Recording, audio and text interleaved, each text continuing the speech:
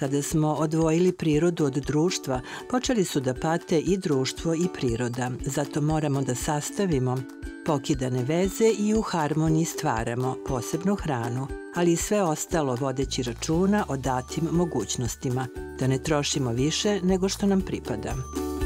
A priroda nam daje i prostor za uživanje, odmor i obnavljanje energije. O svemu tome u ovom izdanju Znanja i manja govore.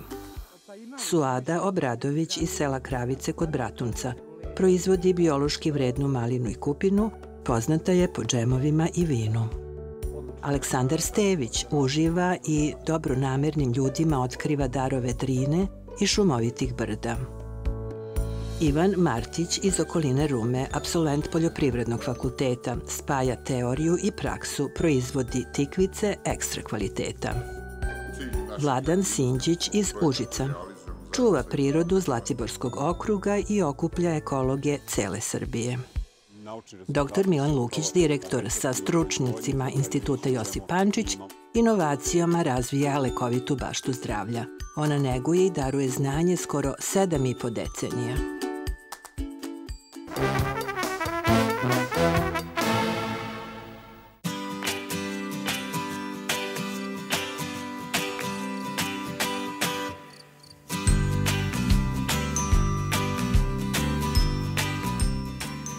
Suada, došli smo da podelimo sa vama ovaj trenutak, počinje berba maline. Da, prva ubrana malina. Evo, ja ću isto malo da vam pomognem. E, koliko sa pola hektara možete da uberete i šta očekujete od ovogodišnjeg roda? Sa pola hektara oberemo 5 tona. Očekujem dobru berbu i dobru cijenu. Nadam I se. imate različite sorte, imate vilamet, imate miker, ali imate i polku. Da, da, imamo. Znači, vilamet on počinje sad ovaj, ranije i posle toga nastavlja polka imamo kupinu. I je li vam tu sad ta neka kućna ekonomija, da imate taman onoliko koliko vi u kući možete da oberete i da nemate taj trošak, jer znamo svi da i nedostaje radne snage? Da, mi radimo ovaj, sve porodično, ne plaćamo radnika i tako nam je, ovaj, što reku, svi smo uključeni. I sadašnja cena, šta vam ona kaže, hoće li biti profita? Što ovaj, uklapamo se, se tiče cijene, svi pričaju o nekoj cijeni, ali ovo je u odnosu na, na sve što je poskupilo, mislim, tu je neka realnost da, da se održi. Koliko sada hladnjača otkupljuje? Pa ovde nije niko izašao sa pravom cijenom od 8 do 10 maraka, tako najavljuju. To je da kažemo upola u evrima, tako? Da, da. Koliko se nadate da će da poraste, ali svi kažu da će možda i da poraste? Pa nikad se ne zna, nikad se ne zna, ovaj, što rekao, da možda neki 15 maraka. Uh mhm. -huh. To bi onda bilo 7,5 evra. Da, 7,5 evra. I ono što je nama zanimljivo, vi ste kooperant jedne ženske zadruge. Kakvi su u stvari koristi od toga što ste u zadruzi? Eh, ja sam kooperant zadruge žena već eh, neki pet godina, eh, pa imamo, osim toga što on nama ovaj, otkupljuju, prošle smo godine registrovali ovaj, preko njihovog projekta komercijalno gazdinstvo na sina, pošto je zaposlen. Ove smo godine nastavili mi da vodimo to ovaj, komercijalno gazdinstvo i znači nam mnogo.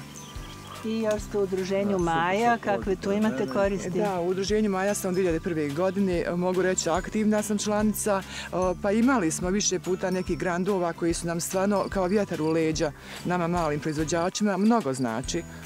I znamo da je finalni proizvod put u profit i vi ste baš kupinu u stvari pretočili u vino baš u vremenu kada je ona imala nisku cenu. Da, da, prije par godina je kupina stvarno doživjela tako malu cijenu da smo počeli da pravimo kupinovo vino i pomoću ovaj, udruženja naših posjećujemo sajmove. Stekla sam dosta mušterija i uspijem godišnje, mislim sada da kažem cifru ili nije ni bitno, dosta proizvedemo i prodamo. I zadruga ima i catering, tako da vaša veština kada su pite u pitanju isto ima svoj put. Da, zadruga ima u slopu toga i projekat ovaj cateringa što vršimo uslugu. Evo danas smo imali sajam, pravila sam pite, inače sam u tome eto kao neki specijalista. Rade, koliko vi pomažete vašoj ženi, uopšte ženama u zadruzi, u udruženju, jel se nađete tu kad krenu na sajmove? Pa nađemo se pomognemo da, da, da se to uredi sve, da se popakuje, da se odveze na sajam ili da po njivama da se ovo odradi, da se to sve svede na jesen, da dođe sve na svoje mjesto. Niste odustali od životinja? Ne, ne, nismo. Svake godine za nas gojimo tako po dva, tri velike svinje. Kokoške? I, nismo. I piliće, imamo i kokoške. I jel koristite stajnjak za vaše voće? Da, da, da, koristimo. Povrće? Sve.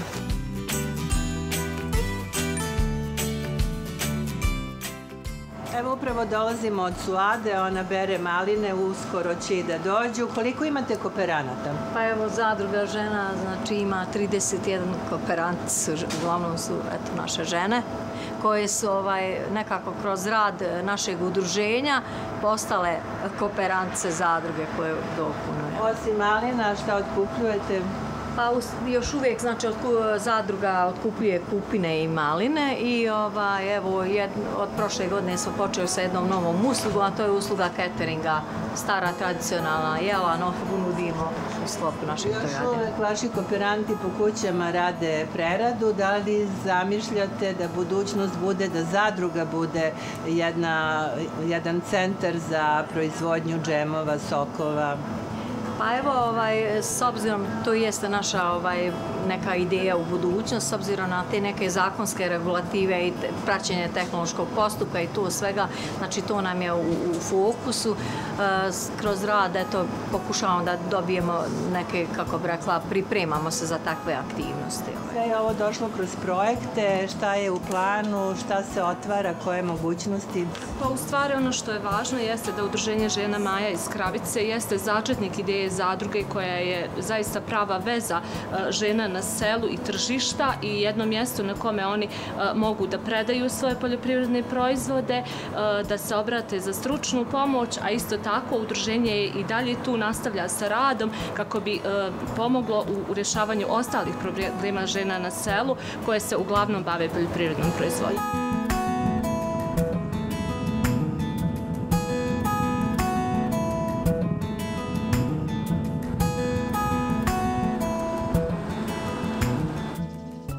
Kakav je kvalitet maline? Pa za sada je zadovoljavajući, dobar je, nema fleka po njima, kao što vidite. Je li ova kiša koristila sad što je pala? Pa koristila, naravno, pošto nije duže vremena padala, malo je osvežila zemlju, nadamo se boljem rodu. Jesu stigle i organske maline? Pa polako stižu i organske, nije još počela berba u svom punom vijeku, ali dobro je. Njih odvajate na posebnu, da, da, tako paletu? organske na posebnu paletu označimo. Stiže sirovina, odavde su krenuli prvi sokovi organski u svet.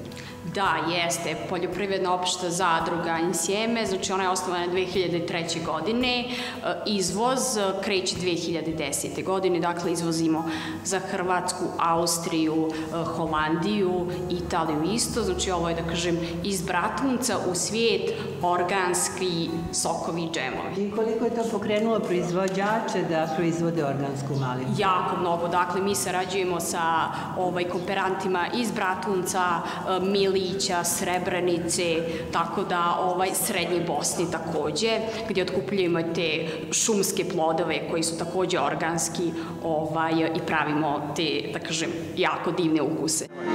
Maline budu zrele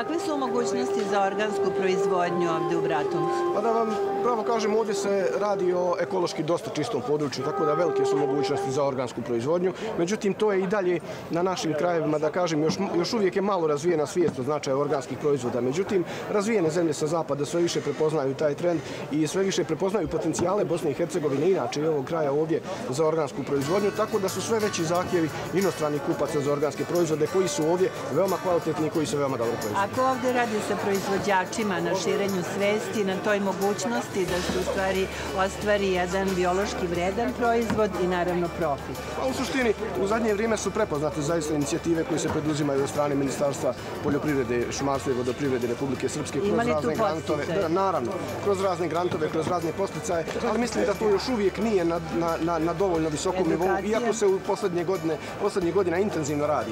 Ali ovaj, moje neko mišljenje da, se, da je to neki pravac kom u narednom periodu moramo ići, da je to nešto što možemo da ponudimo svijetu s, s ponosom i, i da je to nešto najbolje što odavde može dati.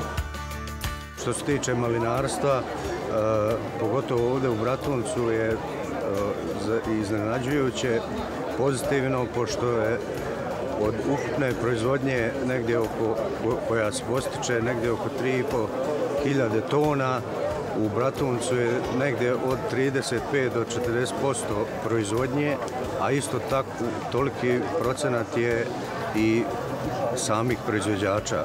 Znači, jako je razvijeno ovde malinarstvo. Ministarstvo podržava svake godine i ove godine smo, kako i prošle, tako smo i ove godine imali jednu vanrednu pomoć e, voćarima, tu je izdvojena negdje oko milijon maraka, a tu su i naravno i malinari. Ako želimo da proizvodimo biološki vrednu hranu, onda moramo da posmatramo procese u prirodi.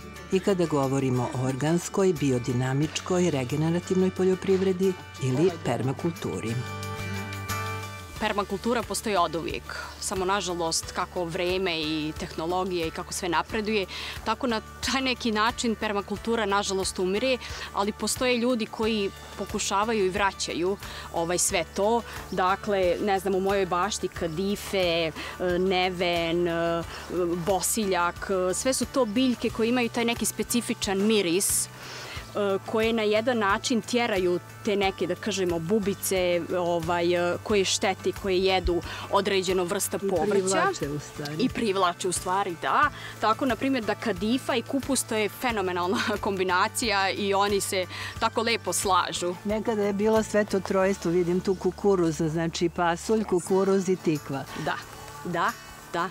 To su prijatelji biljke Jest, i podržavaju. Jeste, da, kažu da su oni rođaci. Radi baštice sada. Hvala lepo. Dan. Hvala.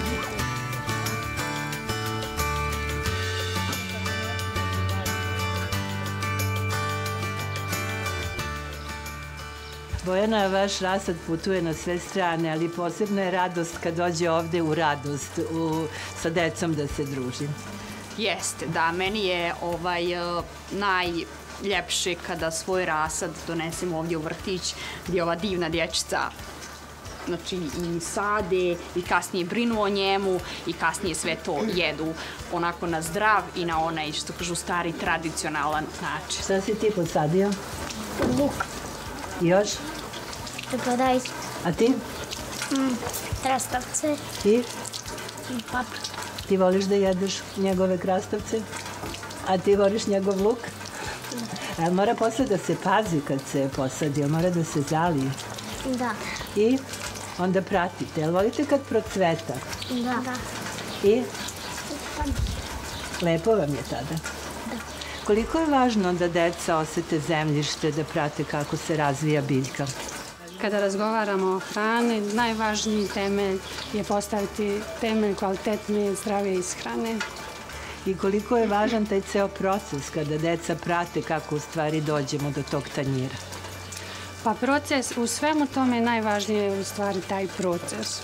Možemo mi razgovarati o svemu, ali kad mi to dohvatimo svojim rukicama, kad ovdje imamo našeg ovako dobrog stručnjaka, našu mentorku i kad dođemo ovdje sa ovom zemljom da se igramo, to je u stvari najbolja lekcija. I onda kažete kad pada kiša, hvala kiši. Jeste, baš tako. Zato što svi nekako se uplaše, pada kiša, ali ljudi koji su u dodiru sa prirodom, oni znaju da se zahvale. Baš mi tako svako jutro kada dolazimo u vrtić i te jutarnje aktivnosti, spremamo se, već je to rutina, ujutru sipamo vodu, učiteljica malo popije kaficu, onda naspijemo vodu, idemo da zalivamo. E kad vidimo da pada kiša, super, taj dan ćemo samo pratiti kroz prozorčić što se dešava. Hoćemo da ponesemo luk našim drugarima. Zdravo. E, doneli smo vam luk. Sa ručak. A ko brine o ovom cveću? Vi. Jel ga zalivate? Jeste, jeste. A jel volite da idete u baštu? Da, da. Evo mi smo sad ubrali, a možemo posle da idemo da vidimo šta radi paradajz, krastavci. Jel volite? Da. Povrće i cveće iz domaćinstva Nešković, Krasi i Trpeze Jeste. ovoga kraja. Jeste.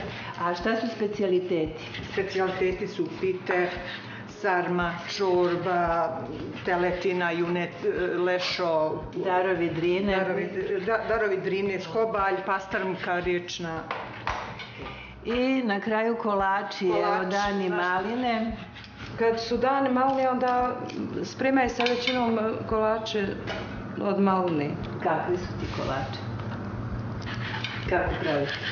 Pa ide, ide puding, maslac, maline, keks obično ono, ne peku se, onda se odosku šlag, Dekoriši. dekoriši se malnu.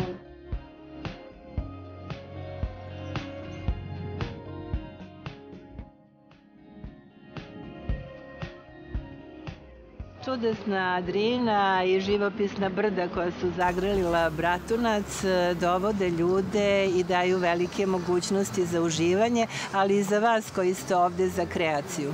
Pa jeste, 68 km obale je zaista najljepše možda rijeke u Evropi sa kva- kvalitetom vode koja je u pijaćem rangu, zaista pruža neslučajne mogućnosti za razvoj turizma, posebno adrenalinskih e, vidova turizma i rekreacije poput planinarenja, biciklizma i svega ostalog.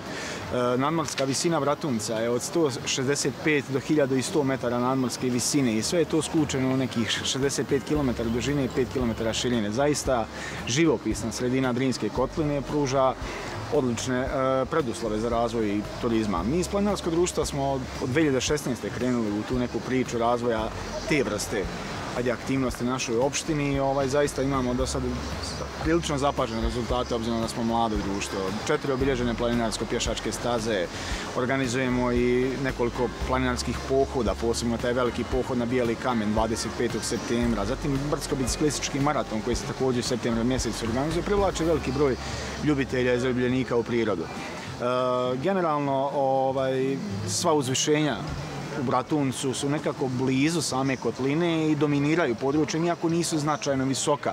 To su neke nadmorske visine prosječne, 800 do 1000 metara, ali se pogledi pružaju fantastični. Recimo sa brda iznad Rajske plaže ovde na Drini, Skaradovice, sa 680 metara visine mi vidimo Mačkov kamen kao na dlanu, koji je znatno dominantniji, visoči i generalno sva ta zapadna Srbija se vidi sa Bratunačkih gora i planina perfektno.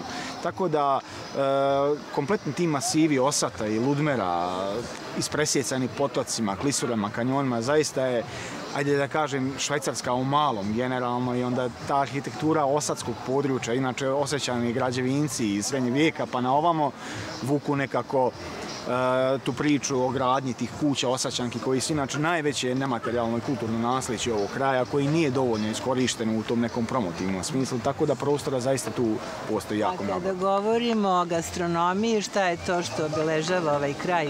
Tako je, gastronomija u prvom redu se također oslanja na rijeku Drinu, pošto je to neki zamajac svega ostalog. Evo ovdje se kuvaju riblje čorbe, ali dan- imate poseban Tako je, danas je takmičenje u spremanju riblje čorbe, ali, ali nadaleko poznat specijalitet ovog kraja jeste ta drinska sardina. Naravno, ne radi se o sardele ribi, nego o drinskoj bijeloj ribi, u prvom redu sa škobaljom koja se sprema u maslinom ili, ili suncokretovom ulju. Specijalitet koji se vrlo jednostavno, ali jako dugo sprema.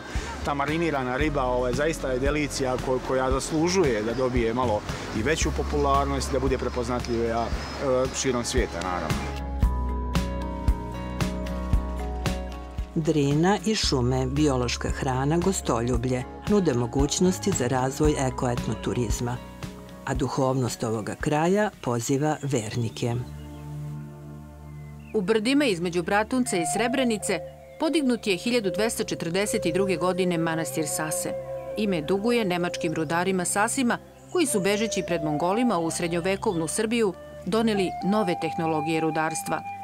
Svetinju podiže kralj Uroš I Nemanjić, a pomaže i posljednji srpski car Uroš Nemanjić. Tri puta je rušen, tri puta obnavljan. Sredinom 19. veka, nakon turskog razaranja, rudari otkopavaju temelje i podižu parohijsku crkvu. Krajem 20. stoleća svetinje se obnavlja kao metoh manastira Hilandara. Posljednja rekonstrukcija 2010. godine je krunisana osvećenjem hrama posvećenog Svetoj Trojici.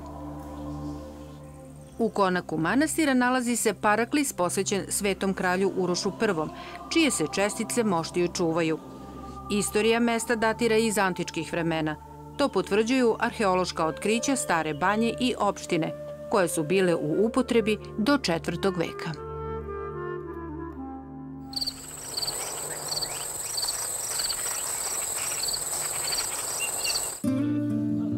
Mladi proizvođači hrane u ukupnoj proizvodnji učestvuju oko 5 Reč je uglavnom o obrazovanim, inovativnim i kreativnim mladim ljudima koji su u proizvodnji hrane prepoznali mogućnost da napreduju i zarade.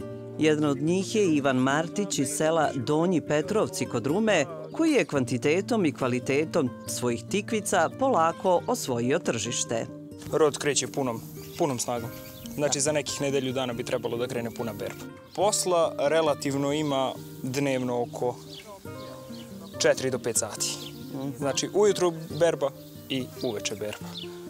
Oko pripreme zemljišta ništa posebno. Znači, oranje, drljanje, postavljanje folije, sistem za zalivanje, rasađivanje. Uvek se trudiš da to bude prva klasa i trudiš se da koristiš što manje hemije. Da. Isključivo prvu klasu radimo druga klasa, treća klasa, to se sve izbacuje, jer samo prva klasa ima cenu, a ne bi sad bilo kome da podvaljujem na dno kutije da ide druga, treća klasa, a gore prva. Prva klasa je tikvica do 12 cm dužine i do 200 grama težine. Puno je vitamina da. C, vitamina D i dosta ljudi je koristi za, malo, za ishranu male dece. Kako si se snašao na tržištu? Pa tržište jeste malo problematično, ali snalazimo se. Povezali smo se s jednom piljarom, nadamo se da se povežemo sa kvantašom u Novom Sadu, tako da... To bi po, značilo i povećanje proizvodnje? Za sljedeću godinu bar duplo. Bar duplo. Bar duplo. Ivan ima samo 24 godine. Absolvent je Poljoprivrednog fakulteta u Novom Sadu. Sve što je naučio u teoriji, trudi se da sprovodi u praksi. Prati i sve novine u poljoprivredi. Trenutno se baziramo na ovoj proizvodnji koju smo imali od prošle godine. Znači, sistem nismo menjali. E, sad, postoje neke inovacije. Mhm. Prvo što se tiče zalivanja. Da. Sistema za zalivanje, tu razmišljam da ubacim tajmere za zalivanje, da ne bi morao non stop pusti jedno, pusti drugo, pusti treće, nego da automatizujemo to i sistem prihrane, da, u, da unapredimo sistem prihrane. Interesovanje nije samo na povrtarstvu. Ivan je i veliki zaljubljenik u cveće. Ove godine prvi put je proizveo hiljadu sadnica. Vidimo da ti cveće pored tikvice ide dobro od ruke i ti tu sad imaš velike planove praktično da napraviš još jedan biznis. Pa, od prilike da upotpuni. Kako bi to izgledalo? Pa imali bi, znači, prolećnu sezonu, kaliope, lobelija, tirolska muškatla, begonija, surfinija, petunija. To bi taman praznilo bi se do početka berba tikvica, tikvica cijelo leto i onda za jesen hrizanteme. Pa bi onda otišao korak dalje, pa kažeš ako treba upisao bi pejzažnu da, arhitekturu. Da, ponovno bi upisao fakultet, upisao pejzažnu arhitekturu i ko zna možda bi čak počeo s uređenjem parkova. U Donjem Petrovcu mladih proizvođača ne manjka. Primetan je trend vraćanja proizvodnji. Nikola Čolić se bavi ratarstvom i proizvodi pšenicu i kukuruz. Generacija vaših roditelja je preskočila da se bavi poljoprivredom, a vi ste se vratili onome što je radio vaš deda. Tako je, da, ja sam od dede nasledio. I sad, odakle to? Ponovo?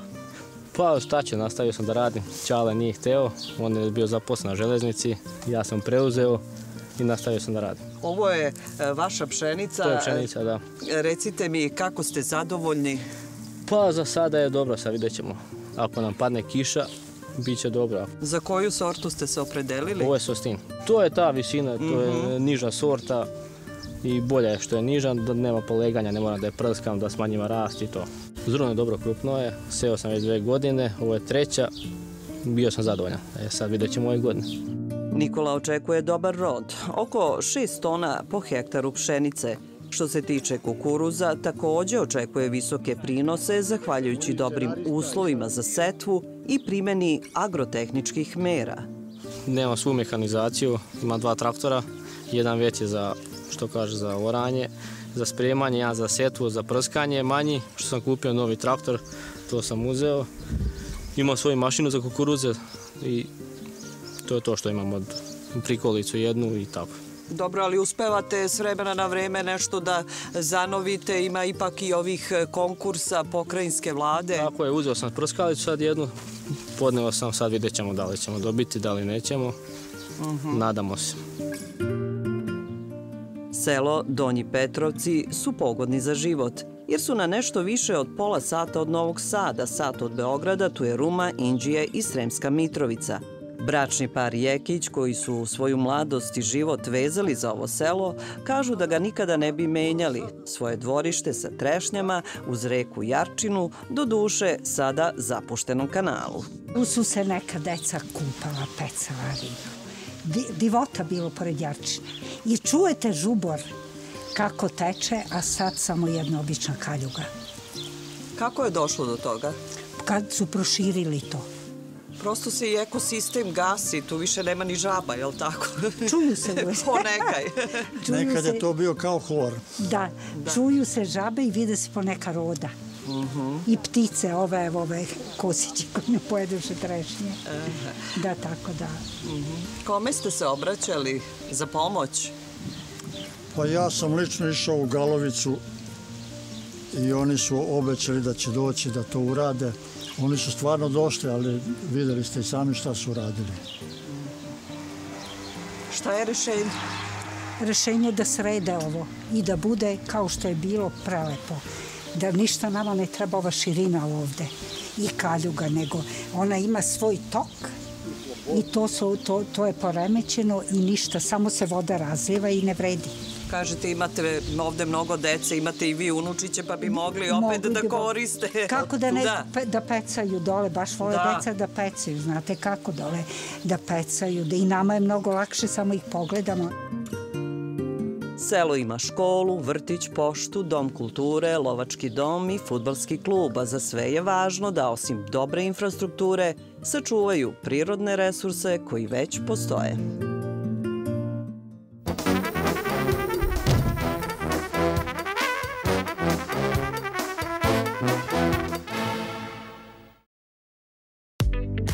Vlada Republike Srbije odobrila je Republičkoj direkciji za robne rezerve kupovinu 131.000 tona merkantilne pšenice roda 2022. godine po ceni od 40 dinara po kilogramu.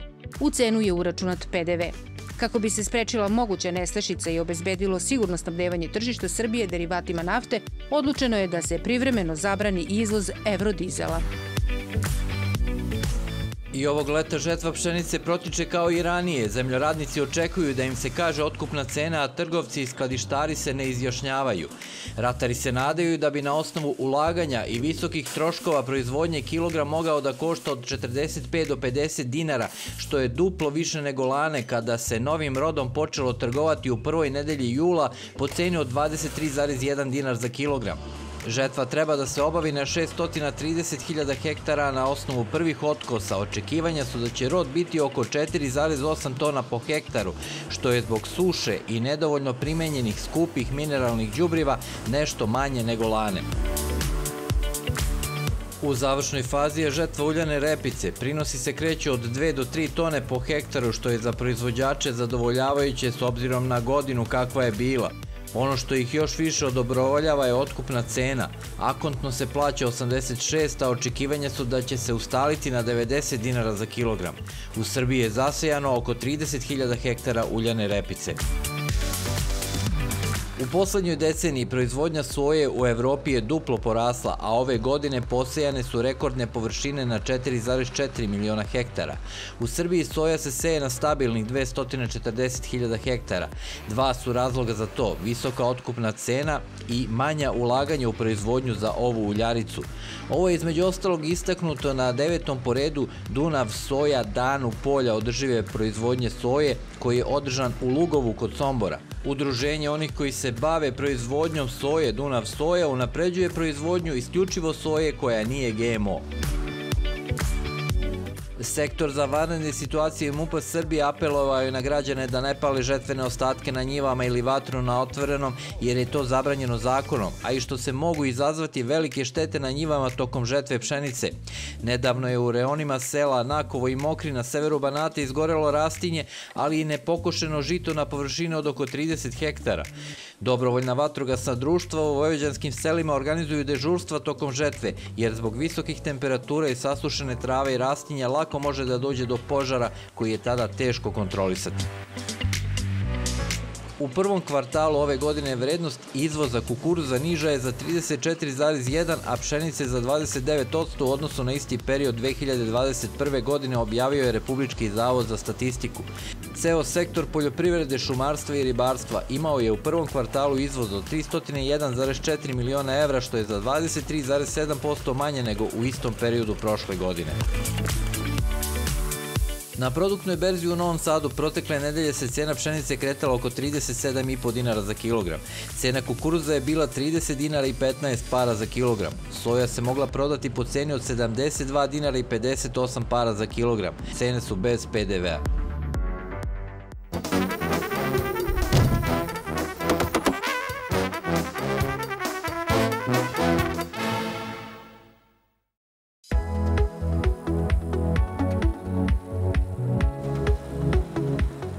Što tiče žetve, pre par dana smo počeli, trenutno nismo, jak, nismo zadovoljni. Znači, loša kiša nas izbegla u ovom delu, tako da tu se prinosi kreću negde od 3 do 5 tona po hektar. Znači, što je jako loše. Jako loše i nismo zadovoljni. Pšenica izgleda savršeno, ali kada uđemo u nju da kosimo, to je katastrofa.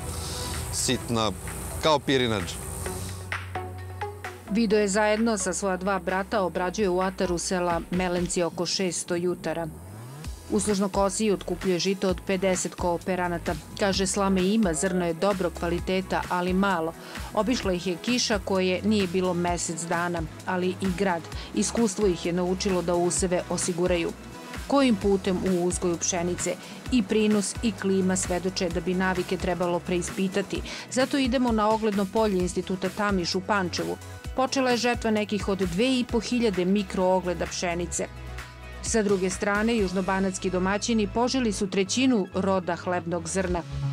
Kada govorimo o prinosima koji su trenutno na parcelama poljoprivrednih proizvođača, oni se kreću od 5200 kg po hektaru do 7,5 tona. Pojedine parcele i pojedine sorte prelaze i 9 tona. Osnovne na visinu prinosa E, nije značajno toliko za poljoprivrednog proizvođača koliko e, je podatak e, koliko mu je novca ostalo nakon odbijenih troškova.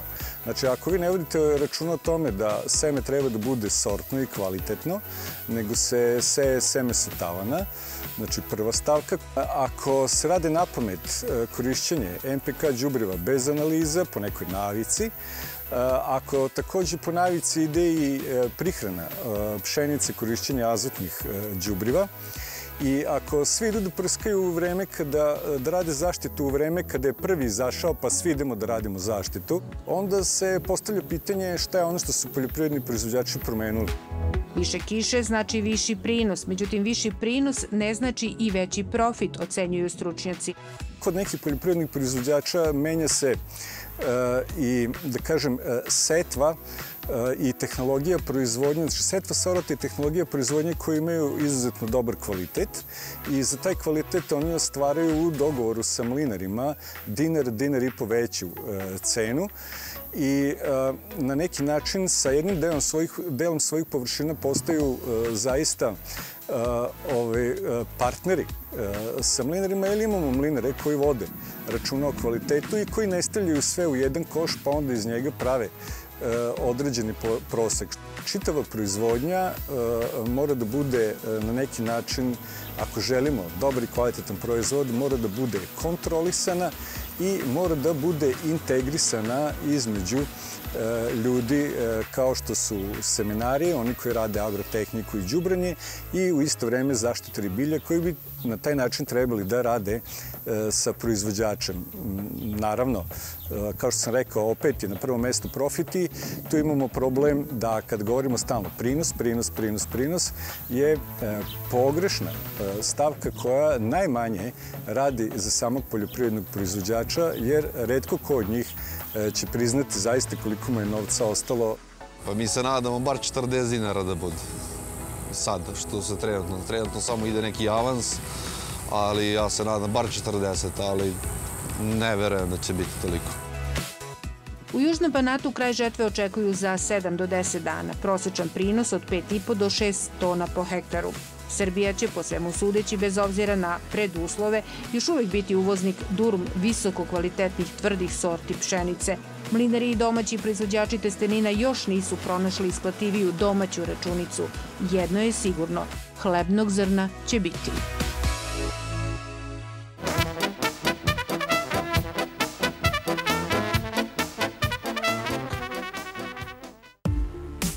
Da li je opravdan cilj proizvodnje hrane na malim gazdinstvima u uslovima kada velika gazdinstva teško rešavaju probleme? Promena klime je uzrok da proizvodnju hrane oslanjamo i na mala gazdinstva, koja klimatske promene, globalizacija i politika manje dotiču. Posebno na okućnicama, zaštitnicama i pomoćnicama za uzgoj zdravog bilja kojeg nemamo dovoljno. Oni su radnici u kopovima uglja i na okućnicama posle povratka sa posla i subotom i nedeljom. Elektrotehničar Aleksandar Spasojević je i majstor za uzgoj povrtnog rasada. Ovo je upravljačka jedinica, to jest e, merni uređaj koji upravlja a, e, temperaturom koja nam je potrebna za gajanje rasada. I u određeni stadijum e, rasta biljke iziskuje određenu temperaturu. Princip grejanja podloge je ovaj, korišćena je električna energija kao ovaj energent i silikonski grejači koji su urađeni kao ovaj tipa podnog grejanja i zatrpani su u rizlu koja će apsorbovati tu, tu temperaturu i ravnomerno po celoj površini širiti narasad. Ovo je peć naše konstrukcije naše neko idejno rešenje gde smo korišćenjem uglja e, stvaramo ložimo i stvaramo toplotnu energiju za zagrevanje plastenika jer nam je već u januaru potrebna toplotna energija zbog e, uzgoja rasada. Za usajavanje semena koristi sterilizovani substrat. Za pikiranje i uzgoj rasada zemljište aluvijom 78% zreo ovči stanjeg 20% i diatomej 2%. Za kontrolu bolesti i insekata koristi nemetalične minerale, zeolit glinu i diatomej. Sporo i skupo ručno sejanje semena povrća zamenio je svojim alatom, korišćenjem pod pritiska vazduha formiran usisivačem. Komšija njegov Slavko kaže da je njegova okućnica najbolja u selu i šire. Pre sadnje paradajsa u Jamić stavljam po jednu lopaticu manju lopčije i džubrete ili goveđeg, nije bitno. Stavljam bakarnu žicu do 3 santima u Jamić, po dve supene kašike sode bikarbone, živu koprivu i to je to prskam paradajz mlekom, sodom i karbonom i vodom. Za kontrolu bolesti i štetočina koriste se različiti materijali i postupci bez pesticida. Korisna je upotreba soda bikarbona za kontrolu bolesti povrća. Kao uvod u organsku proizvodnju, uzgoj zdravog bilja začeti u baštama i okućnicama i nikada ga nije trebalo ni menjati. Uredna mala okućnica je velika, velika kao čuvarkuća.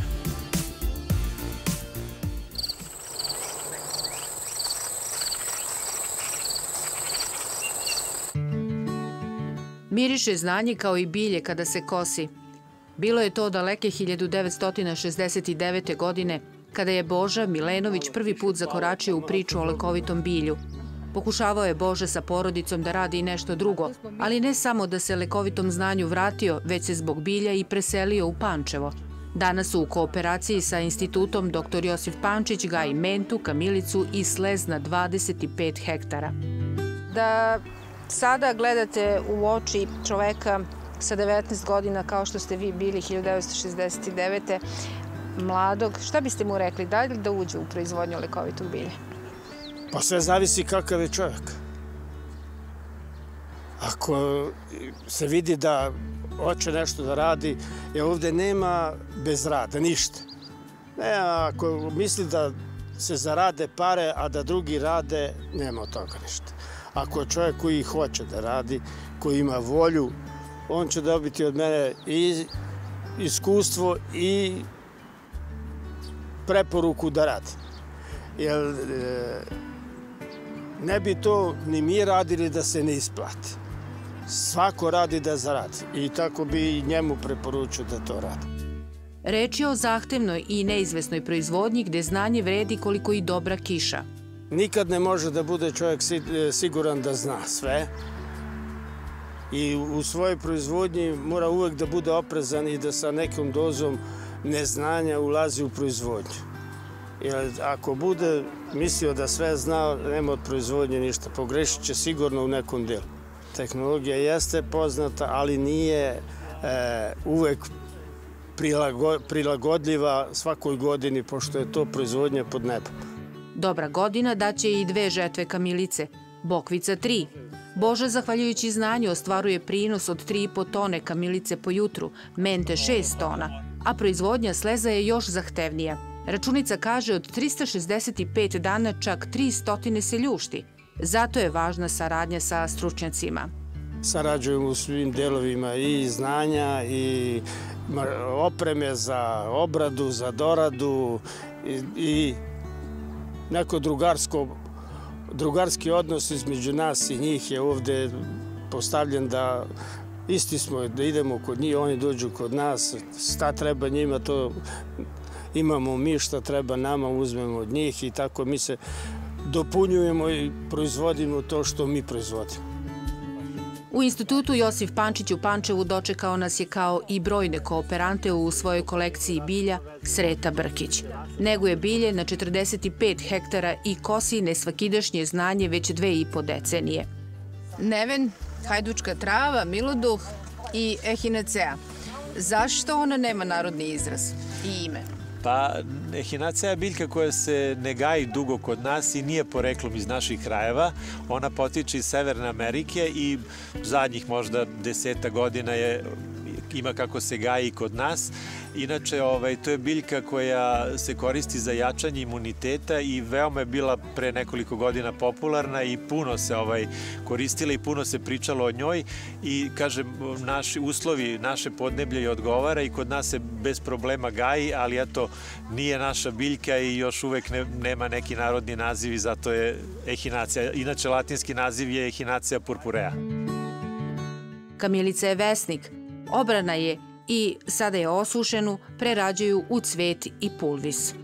Cvet kamilica u stvari predstavlja cvast i sastoji se iz velikog broja sitnih cvetića, kao što je recimo to kod suncokreta, samo što je glavica kamilice mnogo manja. I ovdje imamo tu kompletnu celu glavicu koju mi zovemo cvet i imamo ovaj pulvis, to su sitni ti cvetići koji prilikom prerade cveta kamilice ostaju.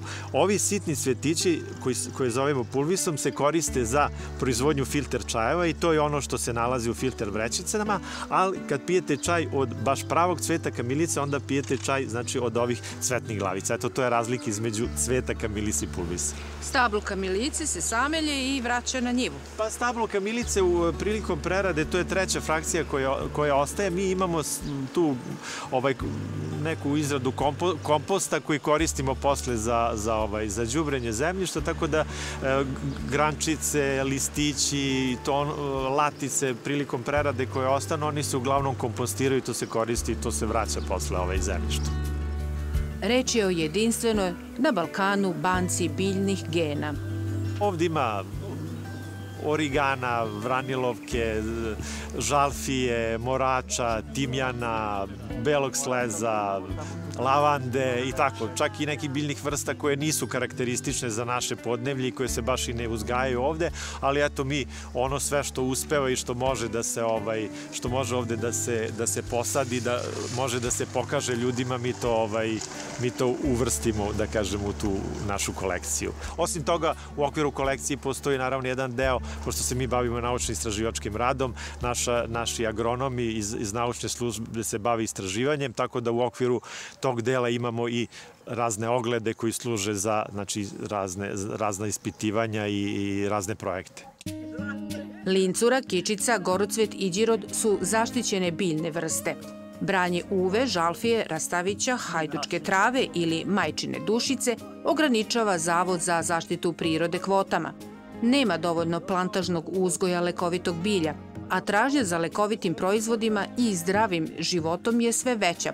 Zato je institut prinuđen da uvozi na nekom godišnjem nivou ukupan, ukupna količina biljnih sirovina koje mi preradimo je negde oko 250 tona. Od toga negde oko 80 tona su one e, gajene lekovite e, biljke, a onaj ostatak je su samonikle biljke. Znači, postoji veći, veća količina i mnogo veći broj lekovitih biljaka koje se sakupljaju iz prirode nego koje se gaje.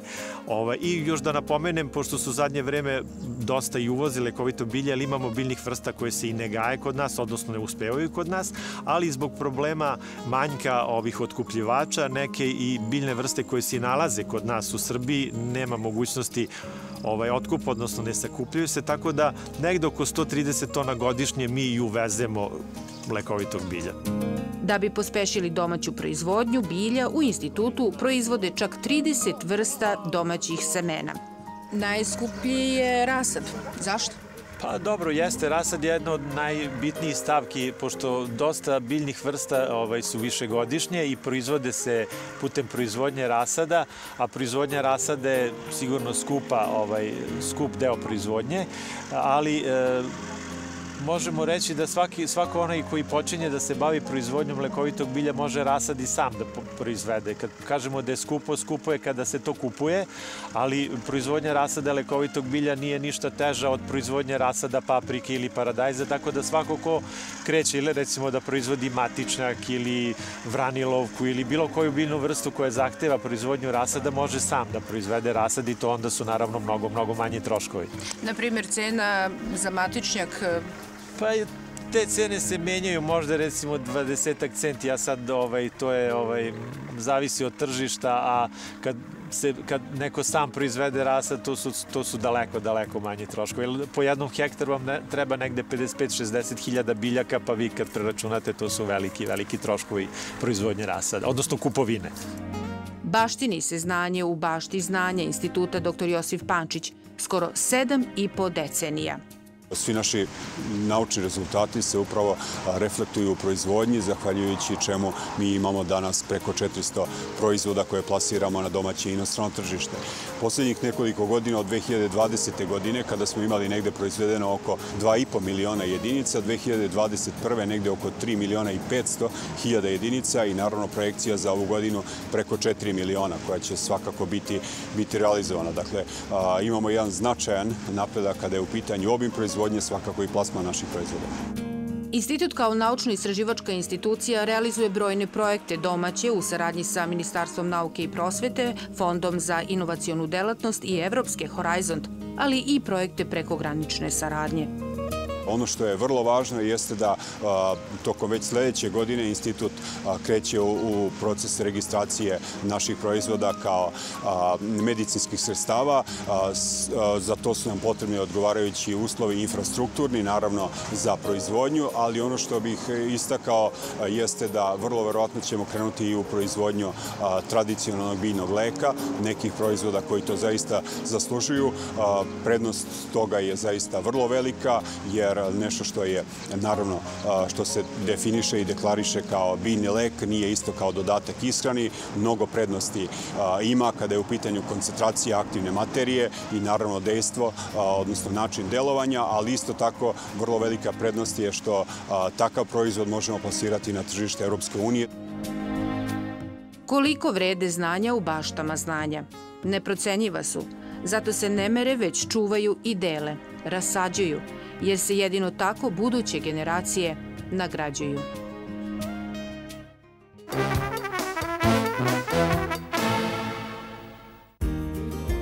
Poglavlje 27 u pregovorima o pridruživanju sa Evropskom unijom za Srbiju je jedno od najobimnijih i najskupljih dobra vesti da smo na tom putu potpisivanjem zelene agende za Zapadni Balkan prihvatili Evropsku zelenu strategiju i napravili korak bliže ka pridruživanju zelenijoj Evropi. Smanjenje zagađenja vode, vazduha, zemljišta, održiva poljoprivreda i cirkularna ekonomija teme su koje će u naredne tri godine Evropska unija preko Svetskog fonda za prirodu dodatno podsticati i u Srbiji. Pola miliona evra opredeljeno je za aktivnosti organizacije civilnog društva koje rade na ove teme. Novac kroz grantove može stići do više od 70 različitih organizacija. Ovo je dobra vest i za predstavnike ekoloških udruženja Moravičkog i Zlatiborskog okruga koji su nedavno, okupivši se na Mokroj gori, razmenili iskustva, čuli probleme i pokušali da nađu rešenja. U Požegi teže da sačuvaju reku Skrapež da se uh, reši sistem odnošenja smeća, da se uh, kupi dovoljan broj kontejnera, da se edukuju i meštani tih sela na koji način da smeće odlažu. Za sada je to još uvek u fazi nekog stand-by-a. Mi konstantno delujemo proaktivno i nadamo se i sigurni smo u stvari da će naša borba imati na kraju pozitivan efekt. Pravo na zdravu životnu sredinu se ne može oduzeti, ali se može ugroziti. Dalje od prirodnih nepogoda često može otići samo čovek. Ni ove godine nas nije zaobišao grad, ali u Arilju kažu da bi za čitav kraj veću štetu napravile betonske brane na Rzavu. Važno je i za samu poljoprivredu u okruženju, jer znate da smo mi u Arilju praktično centar sveta za maline. Mm, klima će se svakako promeniti stvaranjem jednog velikog jezera imaćemo maglu, imaćemo nove vrste insekata, nove bolesti i pitanje je da li će maline da opstanu uopšte. Prijepoljski ekolozi brinu kako će se Lim, nekada najčistija evropska reka, danas puna raznog otpada uklopiti u parkove prirode, zaštićena prirodna dobra čije rubove krasi u Bosni, Crnoj Gori i Srbiji i stranci i naši građani koji žive u, diljem Evrope kada dođu u Srbiju ili neku drugu balkansku zemlju, oni se ponašaju onako, ne ponašaju se onako kako se ponašaju u tim evropskim zemljama Jer odakle dolaze. tamo tako ponašanje tako košta. Sve što ne smiju tamo da rade, oni to upravo rade ovde. I to mora da se implicira, da se to sankcioniše na neki način. Svetski fond za prirodu nedavno je došao do poražavajućih saznanja. Na svakih sat vremena na planeti nestane jedna biljna ili životinska vrsta. Za pola veka smo istrebili dve trećine živog sveta na zemlji, a zahvaljujući plastičnom otpadu koji se razlaže u mikroplastiku, zvanično svako od nas pojede po jednu kreditnu karticu nedeljno. U pregovorima smo sa jednom ozbiljnom firmom iz Užica koja radi reciklažu, gdje će učenici, odnosno njihovi nastavnici, mi svi zajedno, krenuti u prikupljanje tog otpada Tako da ćemo najprije krenuti sa staklom, papirom, pet ambalažom, aluminijumom, najlonom, sve ono što zagađuje naš, naše rijeke i nalazi se pored, bukvalno pored puta, kontejnera i ostalo. Sve češće ekološki protesti u Srbiji i svetu otvorili su i pitanje zakonskih okvira u kojima je ekoizražavanje legitimno to je počelo sada da se rešava baš onako kako smo mi zagovarali. Znači, to je bilo pravo na a, da kažemo, javno okupljanje koje je ustavom, da kažemo, garantovano i koje je jedno od osnovnih prava koje naš ustav daje građanima i to je jedan od načina kako mogu da izraze neko svoje nezadovoljstvo ili da podrže nekog Iako se o njima u poslednje vreme više čuje i govori, većina malih čuvara životne sredine u borbi za velike stvari ima dvocifren staž. Ako ne svaki, onda svaki drugi grad u Srbiji ima nekoliko lokalnih ekoloških pokreta. Najčešće su to organizacije civilnog društva, udruženja građana, nevladine organizacije, ponekad sindikati. Finansiraju se iz projekata za koje konkurišu mogu i ne moraju biti politički opredeljeni. Među njima su brojnije žene i sve je više mladih. Karavan znanja i manja nastavlja putovanje. Obilazimo sela Srbije i beležimo šta raduje, a šta muči naše domaćine.